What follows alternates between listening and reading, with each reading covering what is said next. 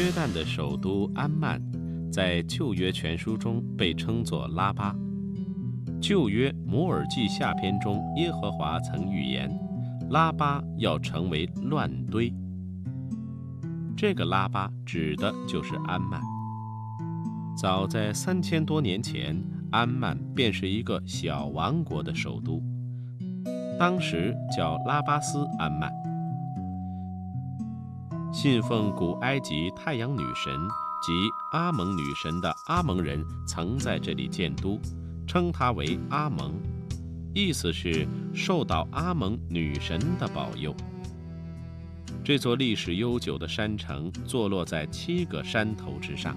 曾先后被亚述人、加勒底人、波斯人和希腊人占领。公元前四世纪，马其顿国王亚历山大征服这里后，其下属费拉德尔修斯将军指挥扩建此城，并用古埃及托勒密二世的名字称呼这座城市为费拉德尔菲亚。后来，罗马人在这里统治了几个世纪，一直沿用安曼这个名字。由于安曼处在东西方交通的要道上，自古这里便是繁华的商业中心。第一次世界大战后，安曼成为约旦的首都。二零零七年一月十四日，我们兄弟摄影队抵达安曼后。中国驻约旦大使龚晓生和约中友协主席法耶兹·萨赫迈特在大使馆内举办了隆重的仪式，欢迎我们。当地文化界、商界、新闻界的众多朋友和华人华侨参加了活动。你们的这个这个工作呢，将是对增进这个中阿人民的相互了解和中亚中阿友谊的发展以及两。双方经贸、科学、文化各个领域的发展做出重要的贡献。约中建交三十周年及约中友协成立二十周年来，两国关系持续发展，合作水平不断提高。今后约方将与中方一起努力，进一步巩固和拓展双方良好的合作关系。在欢迎仪式后，龚晓生大使欣然接受了我们兄弟摄影队的专访，畅谈了约旦当前的局势以及与中国的友好关系。约旦的那个战略地位非常重要，这个它东边呢是那个是伊拉克，这个南边呢接接这个沙特和这个和埃及，西边呢是巴勒斯坦和以色列。北边呢是叙利亚，所以这个它它正好处在这样一个这个中心位置，这是这一点。所以它这个在这个这个阿拉伯国家当中呢，是出一种独特的那个地位，这是一个。那么另外呢，就是在这个大家都知道中东问题这个这个非常复杂。那么中东有好多热点，比如现在这个巴以冲突已经持续了这个半个多世纪了。这伊拉克危机现在也是持续了很长时间了，对吧？这个而且呢，到现在为止还看不着这个解决的曙光吧？是不是？这个每天都在发生这个这个各种各样的事件，每天都有新的流血事件发生。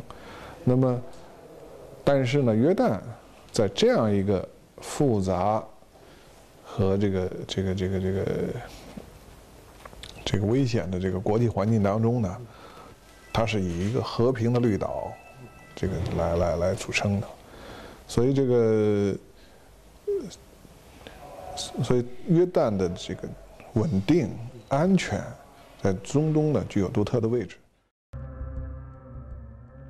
约旦在希伯来语中的含义是“水流急下”，它原是巴勒斯坦的一部分。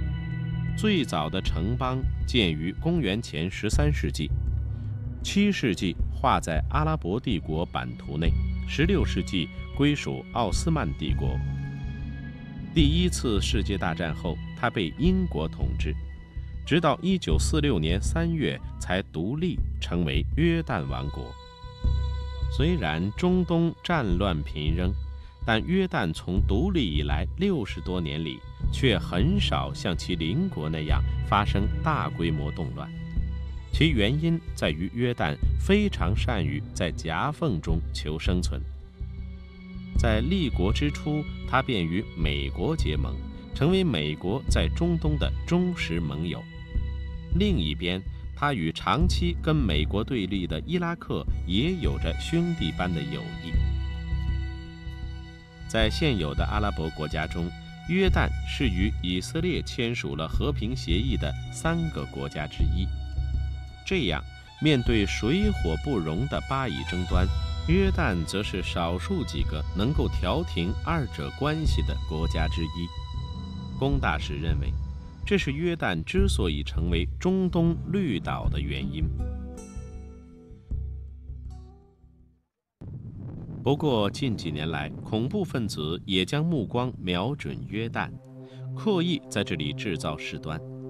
二零零五年十一月九日晚上九点多，约旦首都安曼的三家美资大酒店——丽笙、凯悦和天天，发生三起自杀式连环爆炸，造成除三名自杀袭击者外的六十七人遇难，三百多人受伤，让约旦这个中东的安全绿岛一夜间蒙上了恐怖阴影。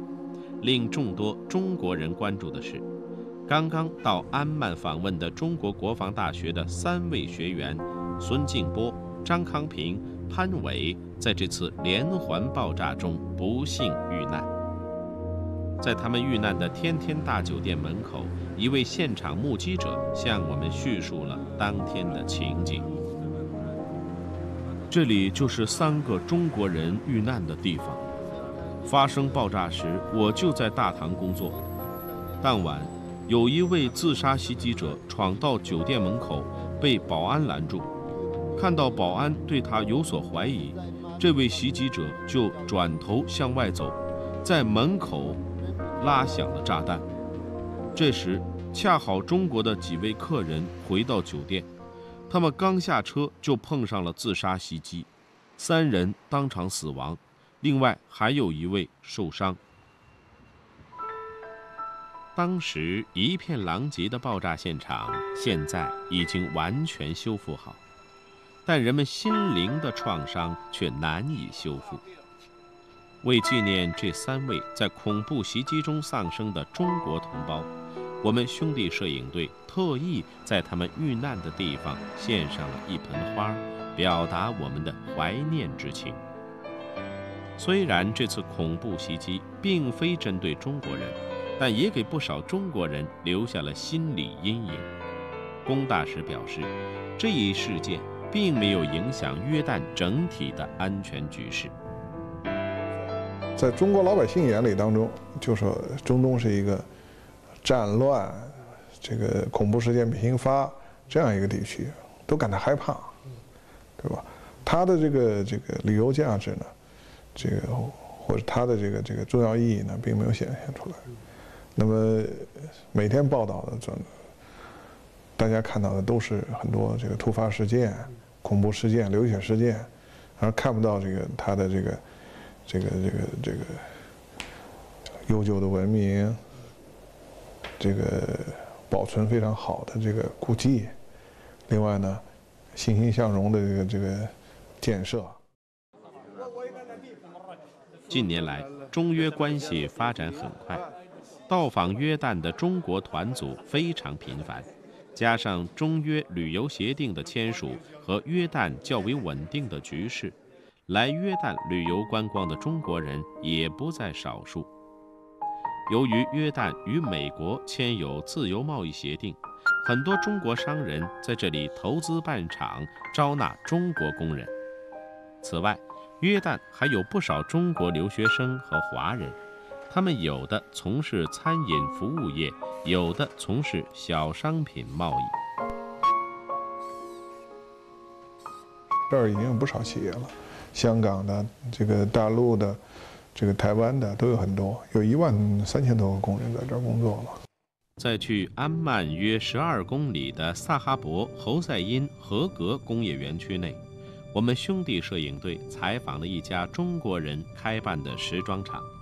这家企业是2001年香港商家投资建设的，共招收五千多名内地工人，主要生产 CK 等名牌服装，其中百分之九十的产品销往美国，其余的销往欧洲，年销售量达八百多万件。据了解，由于约旦的合格工业园区是美国在海外的四大延伸工业园之一。在这里生产的产品被视为美国制造，因此，根据约美自由贸易协定以及约旦工业区法规规定，园区内生产的产品享有多项优惠待遇，可以免税、免配额进入美国市场。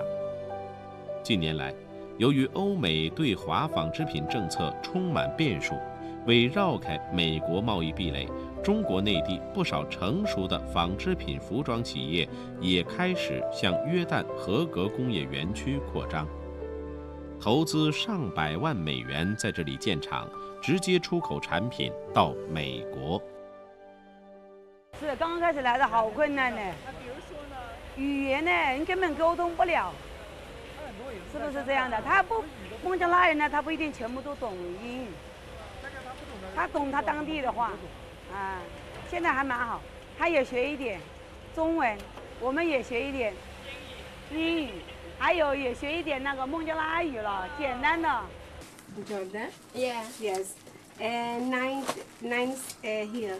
Yes. Working. 刚才我已经问过他了，他对我们呃加拉许的工作，还有我们所为呃接他们的单做出来的衣服。呃，他都感到非常的满意，而且在我们公司，呃，我 我们公司和他的那种，呃，已经进入一种友情的那种阶段了，好像，嗯，国家与国家的那种级别好像都都没有了，都都像是朋友一样的工作，嗯，他在这里工作非常的开心。据统计。从1977年中国与约旦建交以来，双边经贸合作不断发展。2006年，两国双边贸易额首次突破10亿美元，其中中国向约旦出口9.7亿美元，约旦向中国出口为5000万美元。目前，有超过15家的中国公司在约旦投资，投资领域包括。服装、食品加工和机械制造等。一方面呢，我们这个更加重视中东和阿拉伯国家的关系，重视这个在双边合作方面吧，这个取得实质性的进展。另一方面呢，从这个阿拉伯国家呢，呃，也更加看重中国的这个市场。看看重中国的发展，很多阿拉伯朋友们都说，就说未来的世纪嘛是中国人的世纪。这个当然这是一种那个赞誉的那个这个表示，但是呃也说明了，就是说中国的发展确实这个在阿拉伯国家呢受到了越来越高的重视，所以他这个呃在这种大大的背景和前提下呢，这个这个双方的贸易往来呢是越来越多。这个约旦呢，国家比较小市场的，相对来讲呢，就是说，呃，比迪拜啊，比这个什么要要差一点。但是呢，那个中国的市场呢，也是到处都是，对吧？这个我们的家用电器，包括海尔，在这儿呢，已经是知名度非常高了。呃，这个我们的这个像家具。呃，服装、鞋，这个小五金、小百货，这个都有很多。这个在在这儿几乎是充斥了市场，有有很高的那个知名度，也很受这个约旦大众的欢迎。那么近来近年来，我觉得一个非常好的现象就是说，这个 我们有一些质量越来越高的产品进入了约旦的市场，比如说我们呃呃。我们那个华为，深圳的华为，那么它是它是从事那个通讯产品的，那么在这儿已经进入约旦市场，而且取得了良好的那个成果。海尔是中国企业投资约旦的成功典范。二零零二年实现销售收入一千三百九十万美元。二零零五年三月，海尔集团与约旦 MEC 集团合作投资七百万美元，在约旦建设的海尔中东电器有限公司落成并投产。也希望约旦能够成为你们的第二故乡。嗯，那么事实上呢，我们和中国的海尔合作，我们确实是一个合作伙伴，而不仅仅是从中国进口的这些这个企业。呃，我们从五年前呢开始在约旦这边建立这个海尔工厂，那么在这个过程当中呢，也对这个品牌不断的进行推广。啊，那么事实上呢，现在已经有一个新的海尔的理念，呃，在这个中东地区树立起来，在约旦和其他的阿拉伯国家，应该是一个呃 number one 的企业。根据大阿拉伯自由贸易区协议的规定，海尔在约旦的这些产品名义上由中国造转换成约旦造，不仅便于打入中东市场，而且避开了美国对中国产品的反倾销，借用美国对约旦的优惠政策，能堂而皇之地进入美国市场。目前，海尔约旦公司的产品主要销往伊拉克。叙利亚和黎巴嫩等周边国家，并开始向美国、欧洲市场渗透。显然，中国企业进入约旦，是在全球商业贸易的棋局中下了一招好棋。约旦啊，由于它独特的地理位置，实际上在这个就是包括约旦在内的这个中东的核心地区，包括巴勒斯坦，还有约旦。这个这个叙利亚、黎巴嫩，它是处于一个中中东啊这个核心地区，那么又处于一个东西方交流的一个一个枢纽，所以它历来是兵家必争之地，也是这个所有的大国要争 争夺的地方。为什么他要争夺这个地方？就因为这个地方，它对那个商务、对这个呃军事上都非常重要。那么，所以在这个地方呢，就是说有很多这个呃。百年甚至千年经商的那个，这个这个这个大大大家族，所以这个阿拉伯商人，这个我们从《一千零一夜》里边你可以看到，这个阿拉伯商人是非常有名的。今天这个我不知道你那个什么，就是在在纽约，我在纽约工作过，纽约这个百老汇大街旁边很多商店都是这个阿拉伯商人的。那么这里边呢，主要的应该是这个巴勒斯坦、约旦、黎巴嫩。这样一些国家的，所以它这个是非常发达的这样，所以这个呃从这个历史上看，这个包括约旦在内的这个中东地区，原本在在这个石油发现之前，这海湾国家的石油发现之前，最富裕的这个阿拉伯国家应该是这一块儿。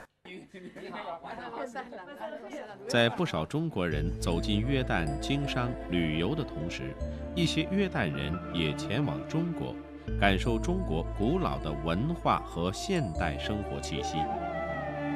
阿拉伯国家的第一位女作协主席、约旦作协前任主席黎纳德·哈提布，就是一个非常热爱中国的人。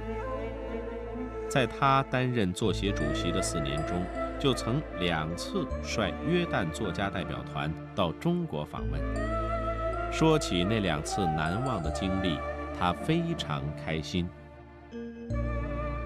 我很荣幸两次访华，中国的长城让我非常喜欢。我参观了中国的一些城市，从官方到民间的接待都很热情，特别是中国作协的接待非常好。我还去了一个花园之城，在那里生活的非常愉快。黎纳德·哈提布是一位阿拉伯富商的遗孀，继承了大笔遗产，独自住在一座上下两层、达五百多平方米的洋楼中。作为约旦著名的社会活动家、教育家，他经常出访欧美及阿拉伯各国。参加各种国际会议和文化活动，上至王室贵族、军政要人，下至黎民百姓、贩夫走卒，他都深入的了解和接触。如此见多识广的他，对两次中国之行仍是感到非常新鲜。这两次访问发现中国变化很大，越来越现代化了。我很感叹中国的国土面积很大。第二次去参观的地方与第一次看到的一点儿都没有重复。在他家的客厅中，陈设着世界各国精致的工艺品，其中有许多来自中国。一个两米高的中国大花瓶。一个一米高的木雕布袋和尚，还有地上的中国地毯，足以看出他对中国文化的热爱。他自豪地表示，这个大客厅是约旦与中国友好的象征，是中阿两种不同文化的交融。这次去他家采访时，中国驻约旦使馆的工作人员又给他送去一对春联和灯笼。让他爱不释手。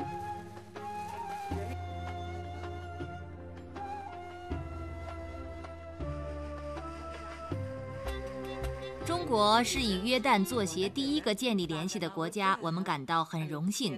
所有这些友好关系都得到了阿卜杜拉国王的支持，以前的国王和王族也很支持，这对发展两国的社会、政治、文化都很有促进作用。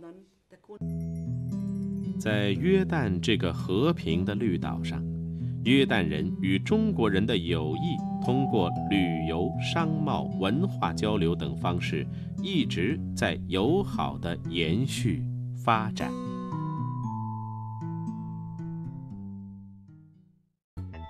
USDT、USDC 每日派息，年利率高达百分之八点七六；比特币、以太坊每日派息。年利率百分之一点零九，i 三万活期理财，每日派息随存随取。